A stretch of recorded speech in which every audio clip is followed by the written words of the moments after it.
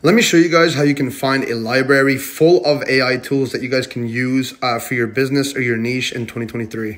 First, you're going to want to go to futurepedia. As you guys can see right here, um, it's updated daily. The largest AI tools directory updated daily. So there's brand new tools that come in every single day. As you can see, there's a whole bunch of different uh, tools you guys can use. Like, for example, this one's $9 a month, uh, is an AI writing assistant that helps you create high quality content. So if you guys are copywriting or email assistant, this one right here is called Writesonic. You can use the AI writer that creates SEO friendly content for blogs, Facebook ads, and Google ads. If you guys are having a hard time with storytelling, here's one for you guys as well.